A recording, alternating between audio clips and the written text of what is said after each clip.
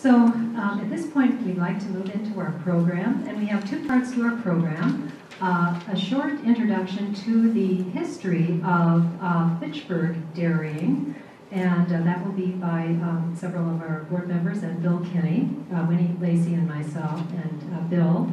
And then we will introduce our special speaker for today. So at that point, I would like to invite Winnie to come up with me, and we are going to um, tell you a little bit about the uh, history of the dairy industry in, um, in Fitchburg.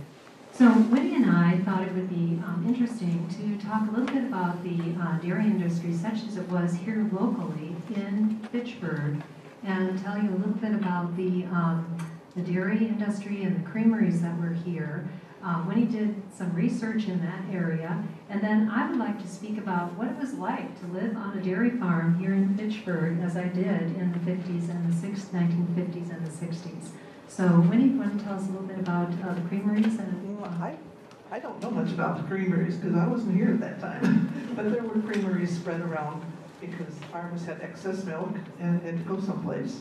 There was one at Oak Hall, there was one down on near Went Road. Did we have others, I mean, that we know of? I don't know. But the, I think the thing that really intrigued me was the, um, commercial dairies that started here. Starting with Woodbend Farm by Bancroft Brothers. And that went into being Bancroft Brothers, and then they went into Madison as Bancroft Dairy. And I just did a little bit of extra research on this and found that after their, after they sold to the people who brought Bancroft, they had a period of time when they couldn't be into a commercial thing, but after that time period was done, they started Silver, oh my gosh, Silver Springs? Something like that. What was another, was another part of their dairy. And they were also, uh, one of the Bancroft brothers was also involved in the Charmany Farms out on Mineral Point Road. And he had gone to school in the, um, um, in the ag short course and had learned how to take care of milk so that the bugs weren't going to get the people. I know, I think that's about, there was dairy farms all over, um, every farm. And back then, Fitchburg was a community of farms, and most every farm had dairy cattle. So, tell what it was like, Catherine. And what was it like to live on one of those farms? Uh, thank you so much, Winnie. Uh, the dairy industry was was uh, the industry that we had here in the, in the township of Fitchburg at that point. And uh, I lived on a farm, the O'Brien Farm, on Seminole Highway, just south of Lacy Road. And my uh, my dad, Leo O'Brien, and his two brothers, um, Gerald and Edward, uh, ran the farm together, and they had um, uh, the next generation. My grandfather had owned the farm prior to that, and my great grandfather had purchased the uh, part of the farm, though the farm such as it was, and then was added on to by my grand my grandparents. So, what was it like with Fitchburg Farms 50 or 60 years ago if you were to drive through the township of Fitchburg? As, as Winnie said, they covered the whole landscape. And each family would have a variety of animals. So you might see pigs, sheep, horses, chickens, a variety of animals. And then we also had a variety of breeds of cattle, milking shorthorns, brown Swiss, Holsteins, and then of course the red barns that we're used to uh, seeing that are disappearing now, um, little by little. Uh, they dotted the landscape and hay was stored, of course, in the upper part of the barn, and then the cattle were housed below. And the concrete silos that stood right beside the barns um, contained silage, which was made up of the chopped whole corn stalks that were stored for winter feed for the cattle. And the farmhouses stood near the barn where the family lived, and then we had all of the outbuildings.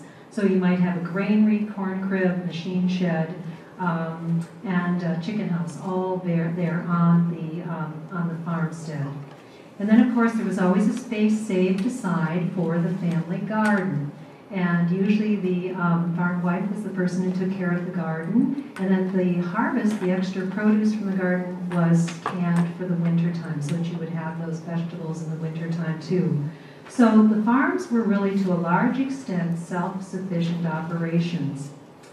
And then the dairy cattle you would see in the springtime, when the warm weather came, the, the cattle would be out in the fields uh, in pasture. And that also meant, of course, uh, because the cattle were getting outside, it meant cleaning out the barns and sheds and then spreading manure in the fields for fertilizer. You can see what an efficient system that was.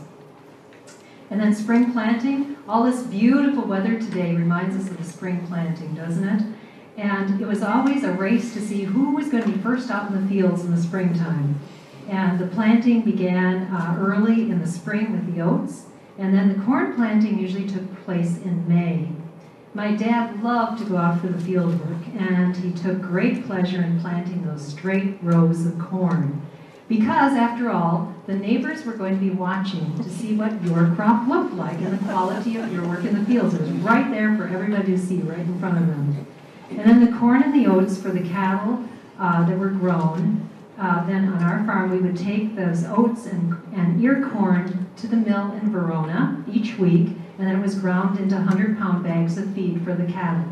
This is my cousin Pat O'Brien is sitting here, and uh, I had a wonderful time talking with him several weeks ago about the details of the farm. So I thank Pat for all of that uh, accurate information.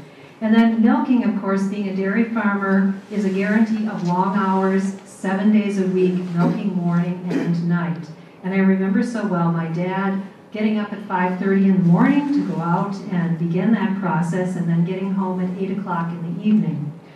But we also, of course, had the advantage of having my dad around all day. He would be out uh, doing work, and so he's readily accessible. And he would always be home for all of the meals. So I remember his presence. Even though it was a lot of hard work, he was always there. And our particular farm, the O'Brien farm, had about 50 milking cattle, and that produced about 16 to 20 milk cans, which each held about 12 gallons of milk. Transporting the milk to the market. My uncle Edward O'Brien owned a truck for picking up milk cans from neighboring farmers. I just remembered I hadn't uh, borrowed the microphone from Winnie. Oh,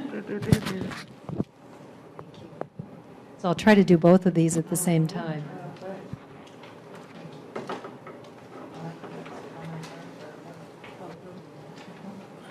So transporting the uh, milk. So my uncle Edward owned a milk truck and he picked up milk cans from neighboring farmers, some of which are here today, like the, the O'Briens, the Lacey's, the Whalens, the Duns, the Bromans, who are here in the front, yeah, sitting here in the front. And every day, and then he delivered them to the Madison milk producers on South Park Street in Madison during the 1950s until 1962. And then prior to trucking milk to market, of course, the railroads would pick up the milk. The milk cans would go to several different locations right here in Fitchburg. Stops were at um, Syene and Fitchburg Settlement on Went Road and Stoner Prairie. Those were all depots. Now where the uh, Badger Bike Trail now runs. And then that milk was delivered to Madison Dairies for processing and sale. And as an aside, many farmers for a time during the Depression, when times were so hard and milk prices were so low, uh, spilled their milk at the Syene Depot in protest for those low prices. Um, in 1968, our farm entered a new era of milk storage with the introduction of the bulk cooler. And so no longer were those 90 pound cans of milk needed to be lifted into a milk truck. Rather, the milk was piped into a large cooler in the barn where it was stored until the large tanker truck arrived and then it was transported, the milk was transported to Madison. And then about uh, the particulars about milking, cows were first milked, of course, by hand. But with the invention of the milking machine, the cows could be milked automatically several times a day. I'm sorry, several times, several cows at a time. And of course, one of the dairy chores was cleaning and sterilizing the milking machines, as well as feeding the cattle as they were milked. We built a milking parlor in the early 1950s on our farm. This meant that the cattle could walk into their stanchions four at a time, and they could be milked on a higher level. So that meant that the milking machines could be attached without bending over, so that was another labor-saving device. And therefore, a larger number of cattle could be milked more efficiently and quickly. So just bringing me up to today then, the herds, of course, have increased in size. Um, Pat and my cousin Tom uh, had, when uh, they were milking, probably at their maximum, about 200, 200 uh, cows. Uh, so they had expanded that dairy operation tremendously from the 50 cattle or so that um, my dad and his and my uncles had. There's a concentration on one aspect of farming, so not the diversity in terms of um, having many different kinds of animals on the farm, but rather the um, focus on, on the dairy cattle. So there are fewer, larger farms, of course, and the cropland production increased to feed larger herds. So the pasturing of cattle in the fields is much less than in the past, and the feed is brought to the cattle. And then you see the large sheds as you as you drive through the countryside in Wisconsin where dairying is done. You see those large sheds for the cows rather than the barns.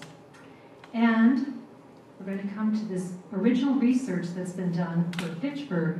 There are now only a handful of active dairy farmers in Fitchburg. And um, I think uh, Winnie has said there are four. Am I correct, Winnie? I think there's four. There's the O'Brien Farm, there's the Hageman Farm, and we have with us today, where are you? Pat? Pat Kane. He still has a herd. How big is your herd? 40 cows. Pardon? 40 cows. 40 cows. Very good. That, I would consider that to be one of the smaller herds in the area. Glad to have you with us, Pat. And uh, there, uh, whether there's the, the State Farm still has um, a herd, is that correct? Yes. Okay. And so the big changes in the history uh, of the um, Fitchburg, uh, Fitchburg community and dairying. So um, we have one of, uh, actually it is uh, Carol Kinney's husband, Bill, has done some original research for us that he wanted to share with us today about, about the uh, dairy farms in Fitchburg. Bill, would you like to come up and tell us what you've done? Well, I- about six weeks ago, I heard uh, some talk about uh, the dairy farms in- in Fitchburg back in the olden days. And I thought, well, that's fine to know how many there were, but let's get some names on them. So I sat down with a yellow pad and a sharp pencil and uh, took road by road and jotted down the names of, of the farmers who were there in my memory back in the 40s and 50s. Um, got that accomplished, and I thought, well, that's a nice list, but um, I'll bet Paul Lacey could add to that. So I went over and, and sat with, uh, with Paul and Milda for, I don't know, hour, hour and a half, whatever it was, and got a few more ideas, and that worked out so well. I thought, well, Roger Cohey over in the east side of, of town, he ought to, uh, he ought to have some ideas too. So I went over there and we, we talked about it, and uh, that was okay. But I thought, you know, I better go see Tom Kane. Tom and Jeannie Kane, um, of course, Tom has lived uh, the farm life in, in Fitchburg uh, a long time. He's even older than I am. Uh, Tom used to go to, to all the auction sales. It was really um, kind of interesting because he was a he was the kind of guy that um, if they had a, a pail of, of bolts on a, on a flatbed wagon uh, and nobody was bidding on it, he'd bid a half a buck. Pretty soon it'd be go for a dollar and a quarter or something. So the farmer always was happy to see Tom Kane show up at the auction. he did a good job. Um, you know, back in the, when the Fitchburg book was written, the, brown book that we know of the Fitchburg history book, uh, it, show, it said on there there was 107 dairy farms uh, in Fitchburg. Um, in 1975, uh, somebody, I'm not sure who it was, added them up and, and had um, 58 active dairy farms. Um, we shut our dairying down in 1965. Um, and on this list I have here of, of uh, by road and by name, I come up with 108 um, back in the, in the 40s and 50s. So afterwards, if anybody would like to um, take a look at this, I'd be happy to, to share it and, and uh, talk about it. And maybe uh, I might run a few more things about who had dairy farms and who didn't. Because I may have someone here that didn't have dairy, but I, I think it's pretty accurate. Um, Any question, anybody that had a question or concern? If not, I'll get Winnie back up here. Or- Yeah, Did you also uh, cover the areas that have now been developed, like um, Sure, the yeah. Highlands of Seminole? Yeah, Okay, yeah, I did. Did some of the um, farmers do their, uh, dairy farmers do their own bottling? Well, I think that would need a special permit. I don't think there's much of that going on, that I know of anyway.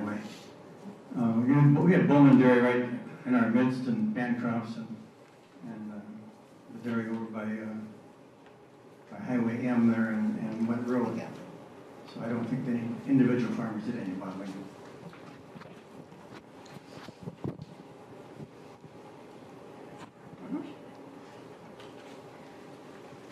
This is called original research. And I know that Bill spent a lot of time uh, going uh, through all of this, and we will have that for our archives here at the Fitchburg Historical Society. So I think that's going to be just a wonderful piece of Fitchburg history for us to keep forever. Thank you, Bill. Well, we are now ready for the main attraction. Um, When when uh, we were thinking of a speaker for this spring, um, we always are so interested in bringing uh, people that uh, have a broad appeal uh, to the community and beyond. And so I called up UW uh, Dairy Science Department, actually. George Shook is not here today, is he? If he- George Shook is a professor at UW uh, Madison, who was uh, also head of the dairy department for a number of years. So I talked to George, and um, he suggested our speaker that we're going to have today, uh, Ed Janus. He said he's done some really interesting things in his life, and I think you'd enjoy having him as a speaker. And uh, so I just want to tell you um, some of the things. So he's been come well recommended. uh, Ed has done a lot of very interesting things in his life. He has been an author and a journalist, an oral historian, a dairy farmer himself, an entrepreneur. And uh, he's helped bring the Madison Muskies to the city. He worked in developing the Capital Brewery. Uh, he produced a series of first-person audio stories of dairy farmers and cheesemakers for the Wisconsin Milk Marketing Board. And he authored Creating Dairyland, How Dairy Cows Created the Wisconsin We Know and Love Today. And, of course, he was a dairy farmer himself for a period of time in Soldiers Grove, Wisconsin, so he speaks from also first-person experience. So we're delighted to welcome Ed uh, as our speaker today.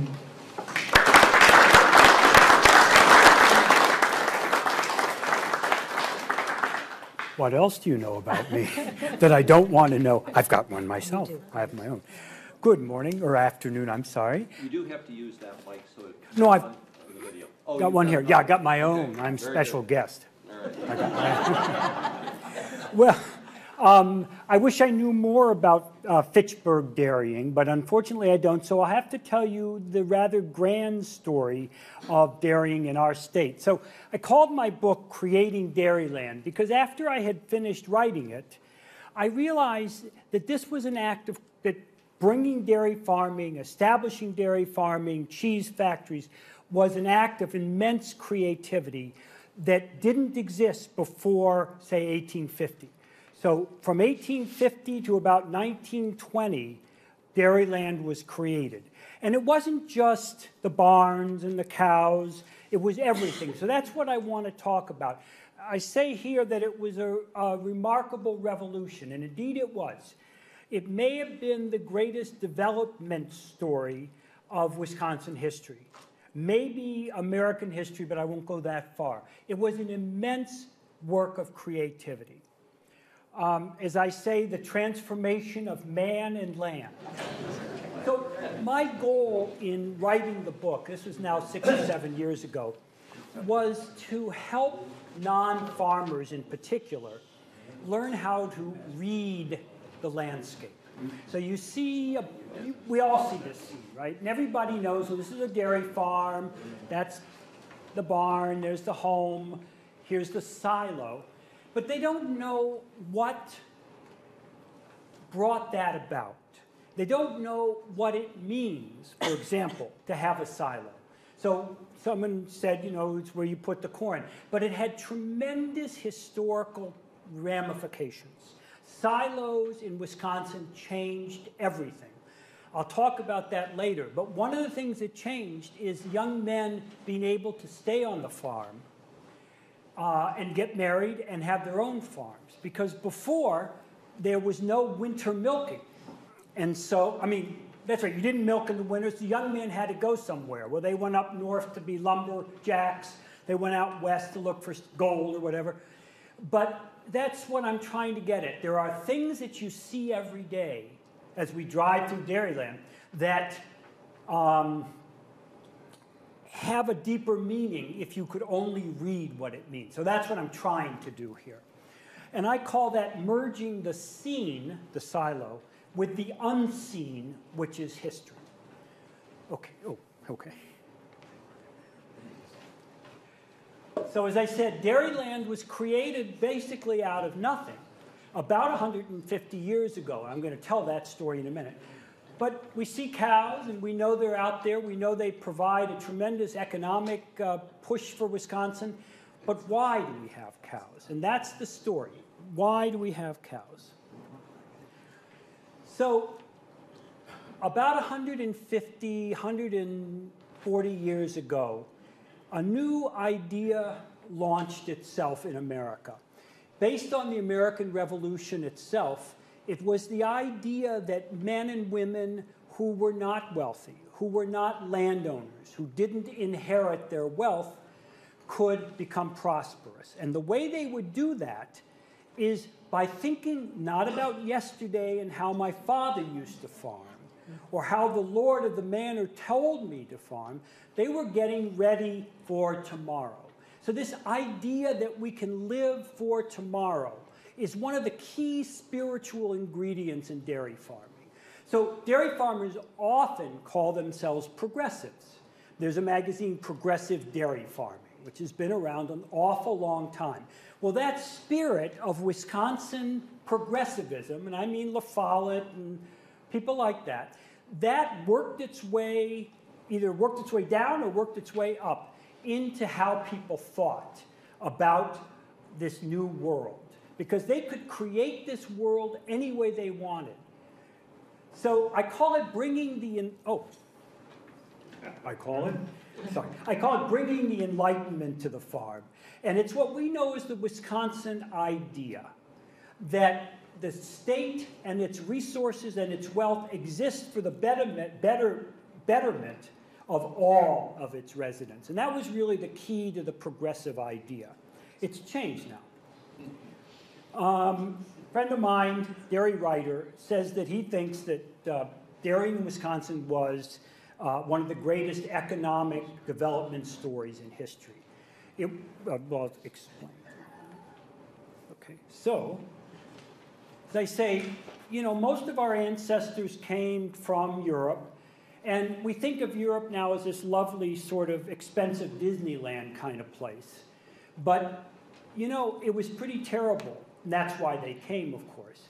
So Wisconsin itself became the frontier around 1840s and 1850s. I want to read you um, a poem um, about uh, Wisconsin. Welcome to Wisconsin, all ye who wish to toil.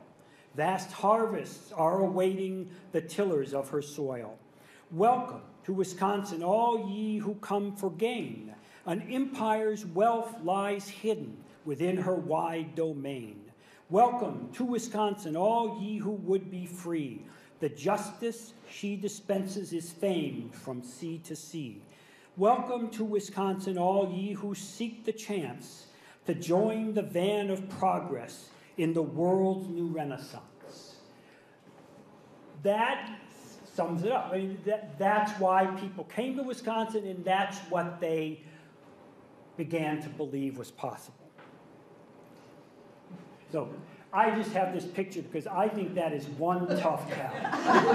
and I always want to show it because I have nothing to say about her particularly, except I would not want to meet up with her in a dark alley. But this guy, I'm happy to meet up with a dark alley. He is what I call the face of Wisconsin dairying. Hold on, I pull my pants up.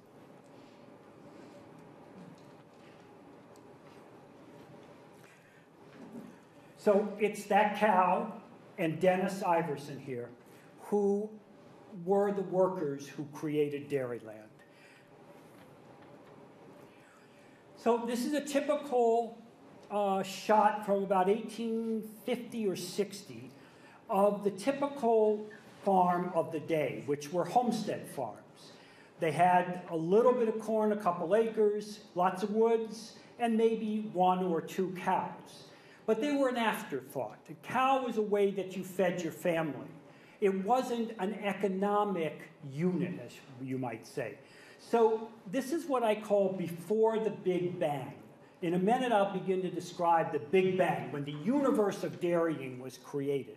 Now, interestingly enough, this picture is a real family here in, in Liberty Pole in um, Vernon County, I think. The little girl down at the corner was the first licensed woman cheesemaker in the state. And this family got into making cheese right at the beginning and are still making cheese. So I don't know if any of you know the name Sid Cook at, um, what's it called? You know, the, you know Sid Cook? He's the greatest, most decorated Wisconsin cheesemaker in the state. I'll, I'll think of it. Anyway, that's his, this is his family. And this is how they started.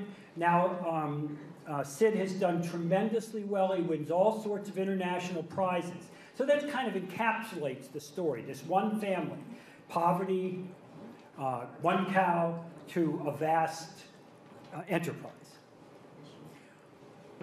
This is a picture of uh, wheat farming in Wisconsin. I wonder, do you know that Wisconsin was a leading wheat producing state uh, before dairying came along? It was also.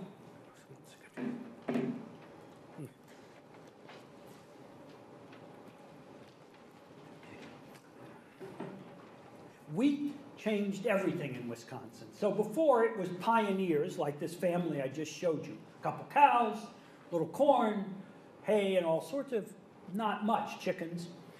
But when wheat came along, people flipped out because there was lots of money. It was during the Civil War. There were railroads now to the east where this, the wheat could be consumed, and Wisconsin became the wheat leader. The problem with wheat in those days, in particular, was that it sucked out the value of the soil. So wheat was all take and no give. So they'd cut the stuff and they'd ship it out to the East Coast, and nothing would come back. And the land started suffering. And also, the morality of Wisconsin farmers began to suffer because they started, we might say, flipping these farms. They were into the money aspect. Oh man, I'm going to buy this farm, work it for a year, I'm going to sell it to the next guy, make a profit, and move out west.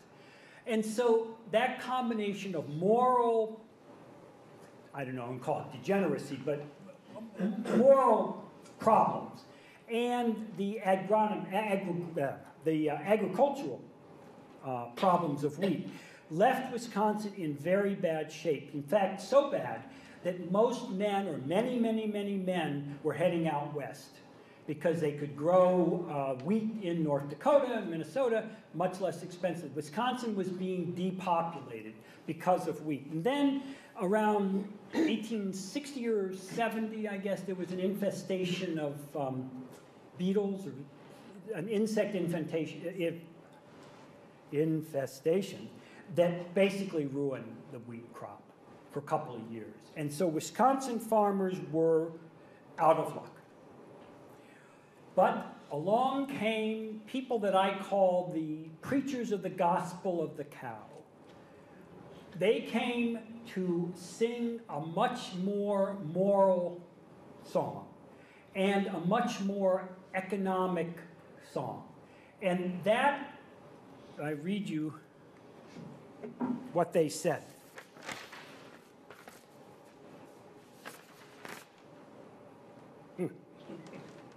Well, I'm sorry. First, I'm going to read you about the um, depletion of the land. This is written by a gentleman in um, Beloit. He said, The alarm cannot be too loudly sounded in the ear of Western farmers to beware of plundering the future for the sake of present advantage too dearly purchased. In other words, you're selling your inheritance. And so these are the moralists of the dairy industry. And they will combine with the scientists. Find us. Hmm. Okay. So here is the sort of, um, I'd say, part of the gospel. This much at least is certain that with the years, the kingdom of the cow is a constantly widening empire. To some one time fertile regions, she comes late, but she comes to save. When the soil miner has wrought his perfect work, and the earth no longer gives her increase, the cow comes to the rescue. From the beginning, she has exemplified the doctrine of soil conservation, where, the, where she makes the land her own. Green car- carpets of pasture possess the fields. Alfalfa throws its perfume to the breeze, and corn waves and rustles in the sunshine. There, great new barns rise in the place of the old, and white walled farmsteads speak of peace and plenty. There, contented farm folk found dynasties by striking the roots of their lives deep into the soil. That is the gospel of dairy. If you adopt cows, you will change everything for yourselves. So I like to say dairying was a, ray, a way, an idea of uh, rebuilding the idea of the future. So the wheat farmers came through, it was all quick cash, quick out, quick in.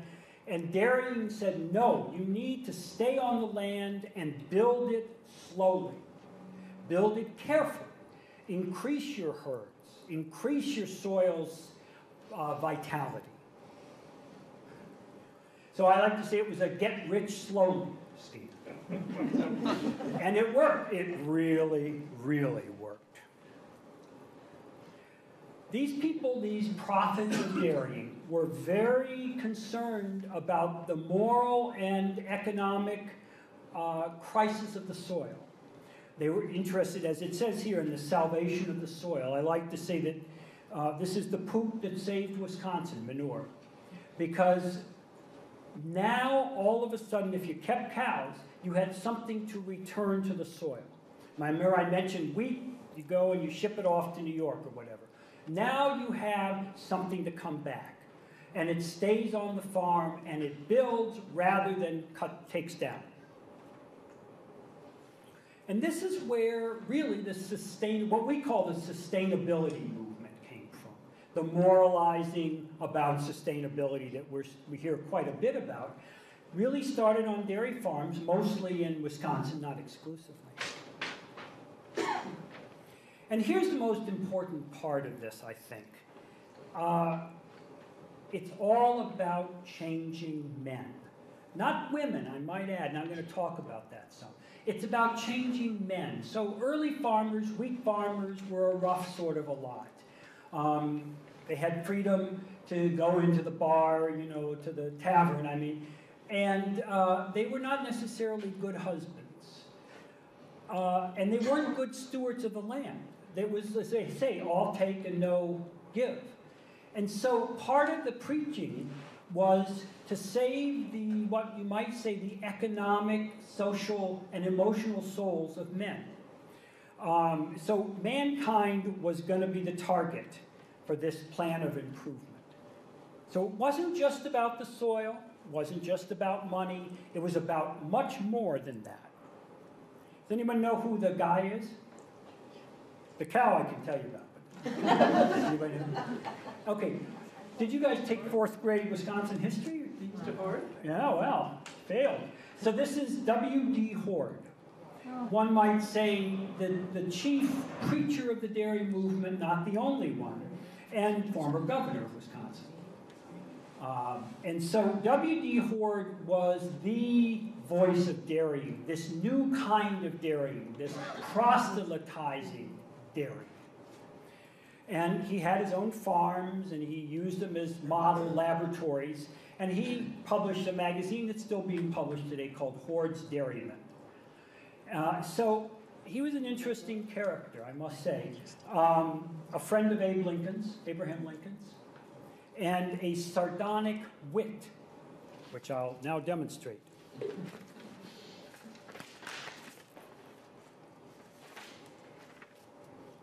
So here's what Hoard said about farmers. And again, remember I was talking just a moment talking about changing men. So here's what he says. One reason why there is so much truth in the oft iterated remark, farm and don't pay, is that there is no, not another business on the face of the earth that, in proportion to the numbers engaged in it, supports so many incompetents. We think of our farmers in Wisconsin, rightfully so, as intelligent, educated, forward thinking, hardworking for sure. But farmers in the wheat days were not. They were layabouts uh, in many cases. They had no sort of sense of economic development or moral development.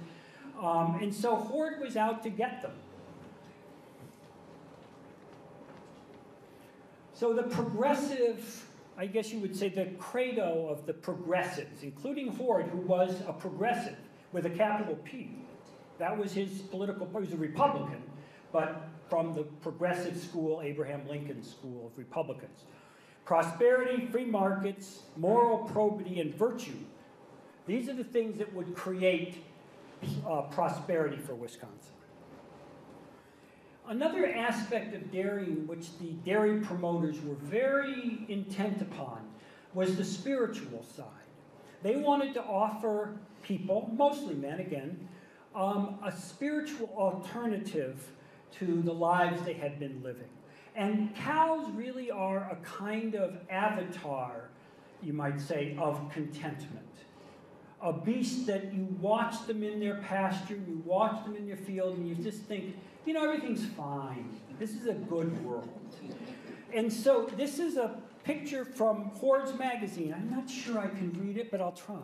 The caption Those kind that in lush, lush pastures feed and lie down to comfort and contentment. The idea was to transform farmers into people who were comfortable and contented. Again, it really worked.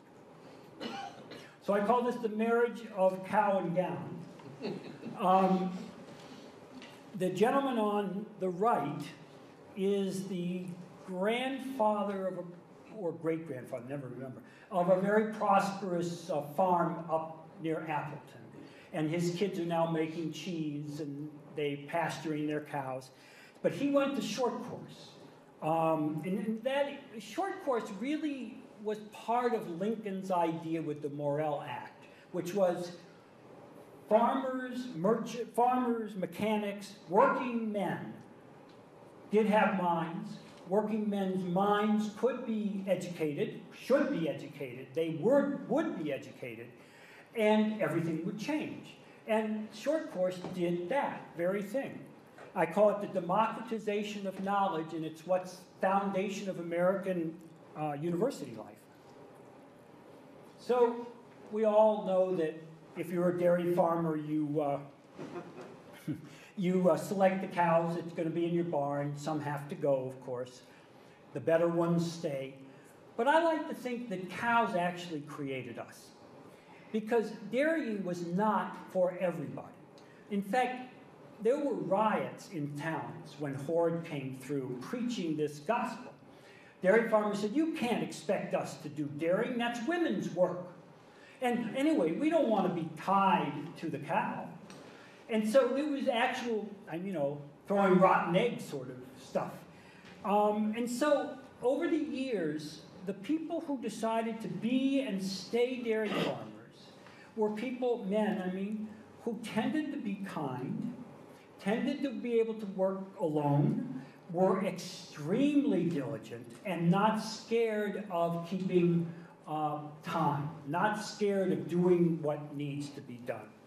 And that's the dairy, when we think, I- when I think of dairy farmers in our state, I think of like that gentleman I showed you, Dennis Iverson. A whole new kind of man.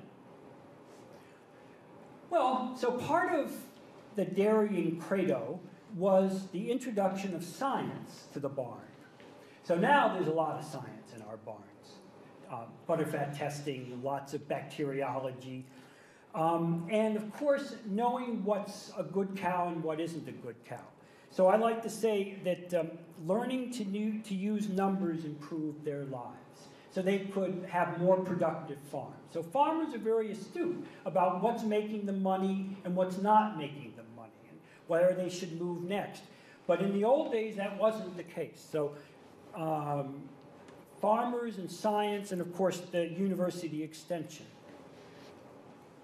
Now, this may go to some of what you were asking earlier. The farm is factory. So you can see this is a 1910 or so um, thing in a dairy magazine. And they're promoting the idea of the farm as a factory. So you have inputs, you measure the output, you specialize. So this is the beginning of what should not be a bad word, but sometimes is industrialization.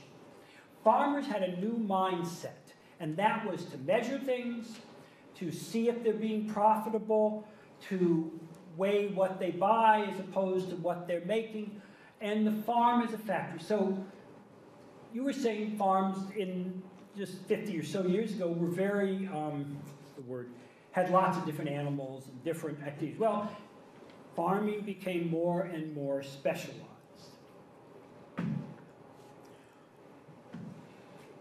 So I call this a revolution in, in rural history. You notice this picture. This is a farm family. He's playing with a radio. They're well dressed. I'm guessing that the gentleman has uh, slippers on and not boots in the house. So this is the great movement to make men gentlemen. It also was a tremendous movement to keep men and women on the land. As I said, as you all know, that there was a tremendous urban emigration. So the boy wanted to leave the farm, and the, you know, how do you keep them on the farm? You make them prosperous, and you make them prosperous just like their city cousins. So there was a tremendous movement brought on by the University of Wisconsin Sociology Department, uh, Rural Sociology Department, and Extension to prove to farmers that they had a really good life that was no less than their city cousins.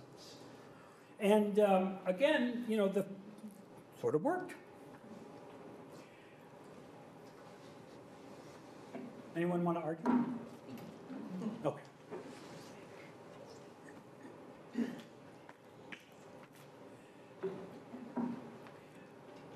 In the eight- 1900, late 1900, no, late 1800s, in the beginning of the 20th century, Europe was starving. I mean, again, we think of it as this place with great food that you see on the Food Channel and all. But Europe was starving. I mean, the Irish potato famine, uh, famine, uh, fa- Anyway, um, that sort of thing. That was a little earlier. But dairy farmers, as part of their business, wish to promote protein. And many saw themselves, again, this sort of moral thing of feeding the world's children, you know, the milk of mothers. And so, even to this, today, it's a part of the spiritual background of many dairy farmers. This idea that what we're doing saves the children, in, the starving children, in this case of Europe, and in Japan after the war.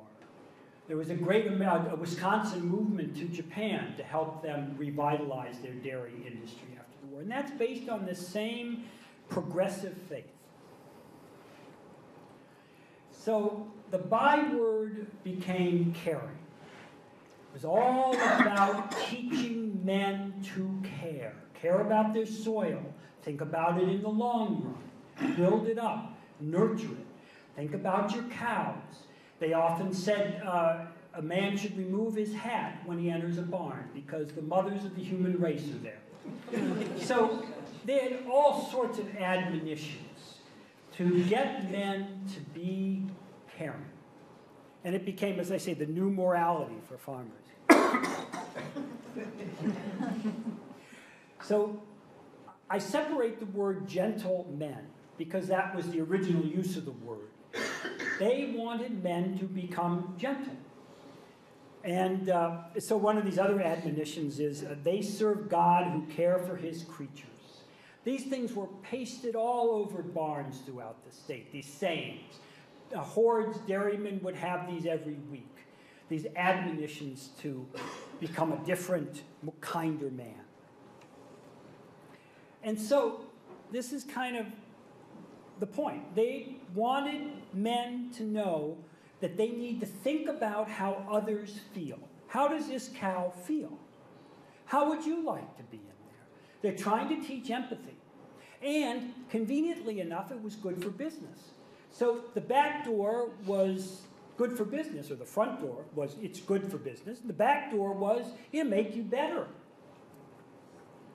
So this is what I'm saying that uh, you could have both good souls and good business. That was a real interesting uh, play they made. Okay. I want to read my favorite thing.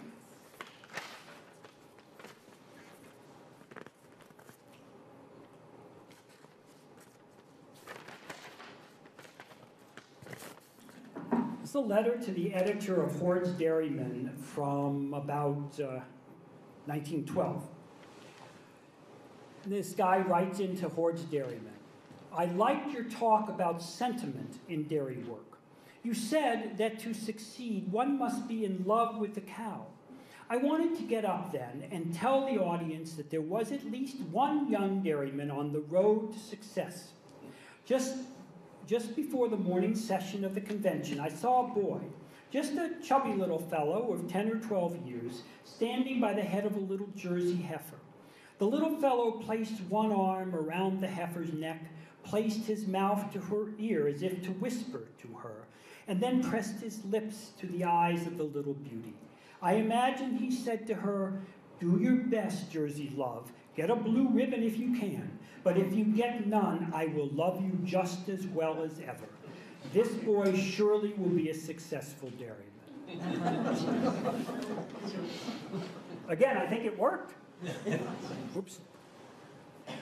So I mentioned um, silos earlier, and I wanted to talk just a little bit in more detail about silos. So this is called the new dispensation for farmers. This genuinely new operating system for nature. So in the throughout history, we had plenty during the good weather, and then we had scarcity during the winter. Silos basically turn that on its head. So now you could put up enough good feed to have your cows milk in the winter. And so there was to be no more scarcity. It was all abundance year round. And this um, uh, year round milking was a huge, had a huge impact.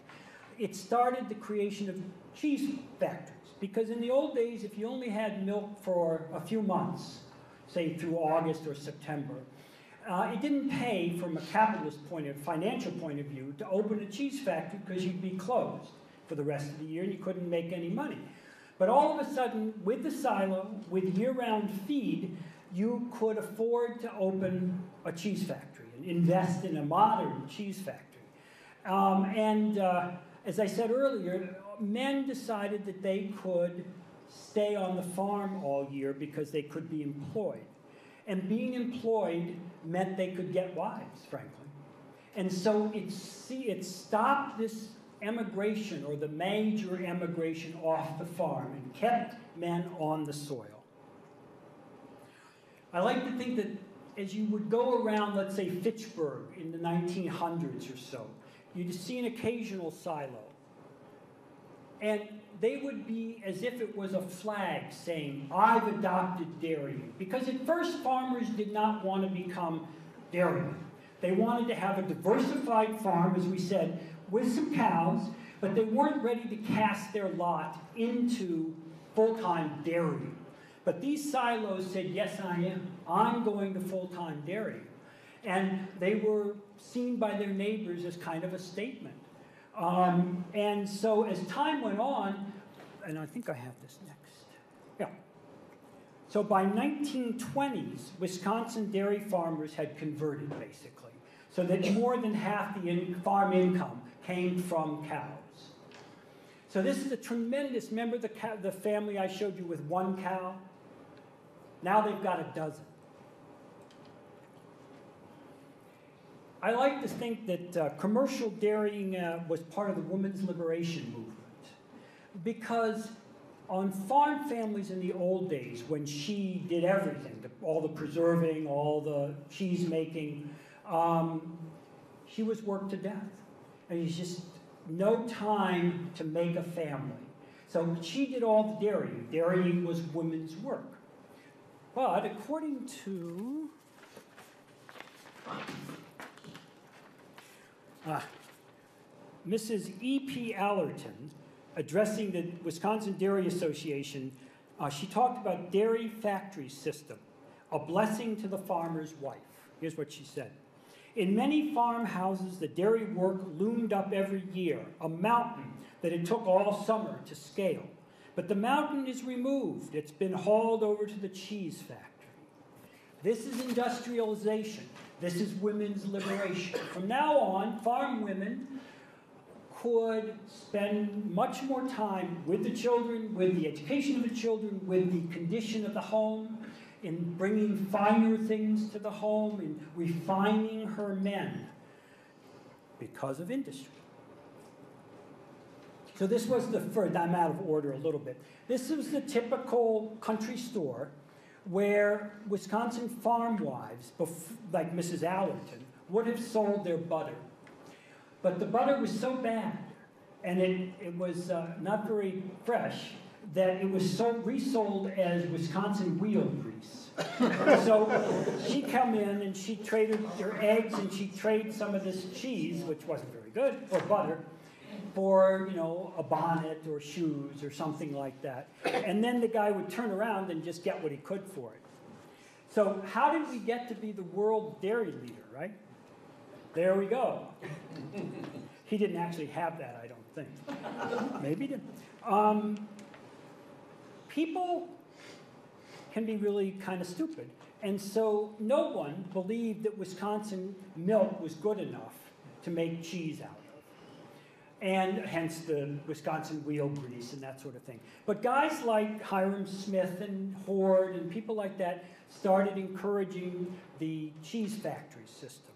Now, there was a time when Wisconsin blew it. We uh, were a major exporter of cheese to England.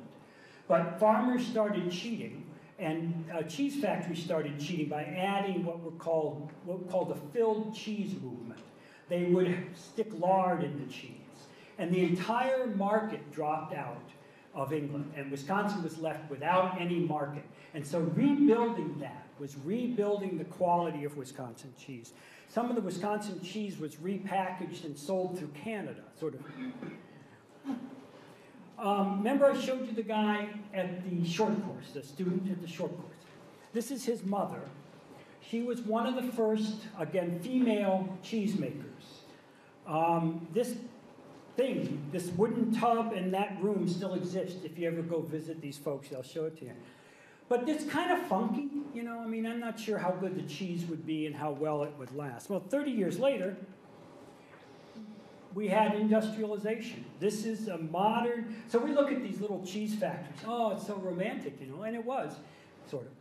But they were the cutting edge of industry in their day.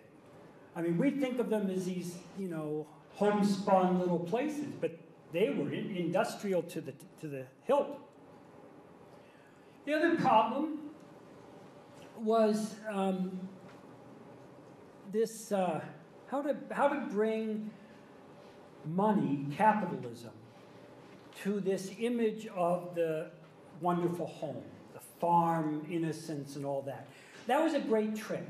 How to get these people, like the lady, to do real business. And uh, I'll tell you about that, but it's always a conflict. Does anyone know what the Babcock test was? Is? Is? Butterfat, right. So W.D. Hoard said that the Babcock test did more than the Bible to make farmers honest. So again, there's always been this undercurrent, which has finally been washed out of cheating. But that's true everywhere. Um, and so the, the filled cheese crisis created, taught progressives um, that human beings could be improved even if they weren't perfect. Progressives wanted people to be perfect but gave up on that idea. And thought by passing regulations and laws, uh, you could um, get them to do the right thing.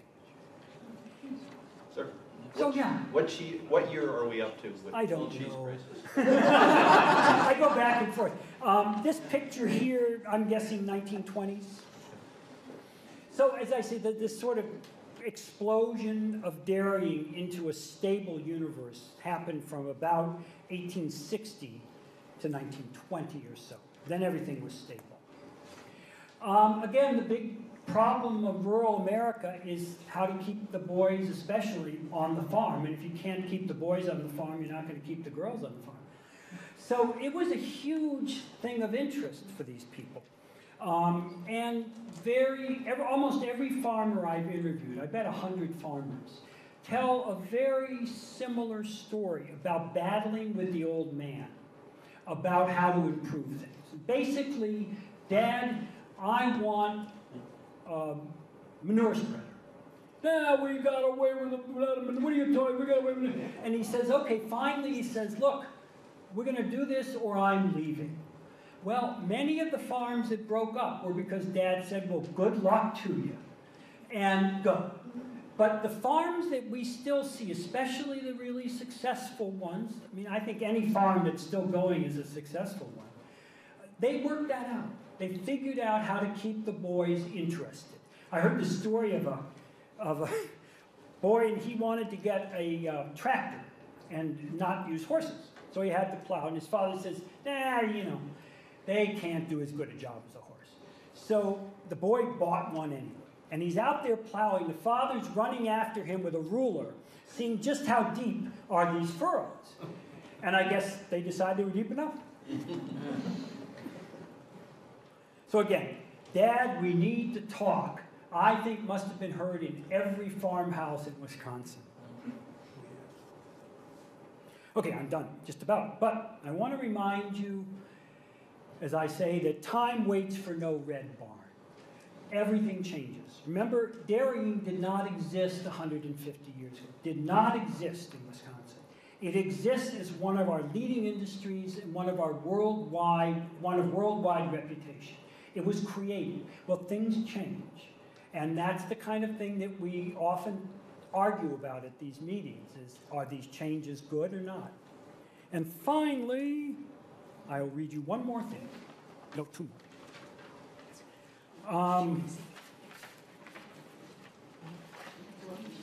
I call this the dairyman's prayer, written uh, by an extension agent around 1920 something. Dairy farming has helped to build a sound and stable agriculture in Wisconsin. Where the cow is, there is Arcadia. So far as her influence prevails, there is contentment humility, and sweet, homely life.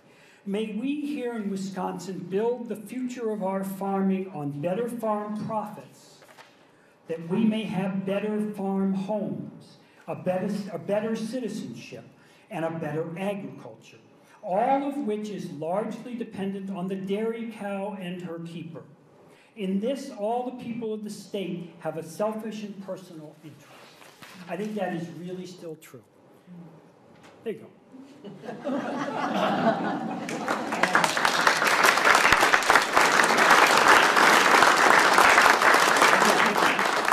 Anyone want to argue? Sir? Mayor? Uh, So what is it about Wisconsin that it's centered here? And, and What, why didn't it leak over into western, uh, eastern Iowa, Oh, eastern Minnesota, and northern Oh, Illinois? I'd say they're dairy, I mean, we hear about the paving of the roads, for example, but what else was Right. there that, Well, all of the states you mentioned have um, plenty of grass, and grass in the early days was the secret to dairying.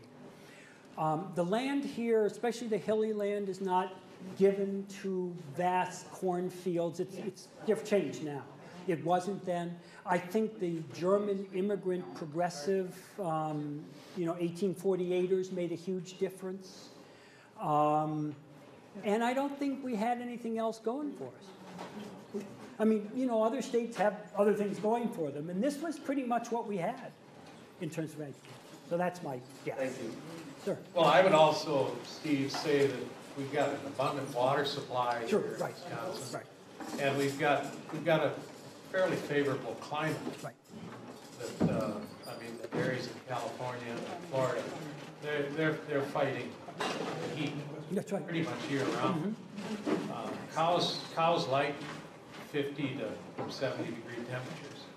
I think another thing is that um, we just happened to be at the right place at the right time. Because the westward movement of people from the east was happening. They needed new land. They were immigrants and hungry to improve themselves. We've got to give a lot of credit to the University of Wisconsin, Oh, yeah. too. Yep. Their forward thinking and developing agriculture. That's right. the soils program and dairy program that they have there. That's right. That's tremendous. Ma'am? Showed the image of um, the wheat, and then the next slide was of three cows. So about what year was there a transition? Yeah, so the wheat, what was called the, um, the, uh, uh, the infestation in the wheat fields happened around 1873 or 4, That was after the Civil War. after the Civil War. So Wisconsin had been depleting its soil up through the Civil War, It made a lot of money on the Civil War shipping out east.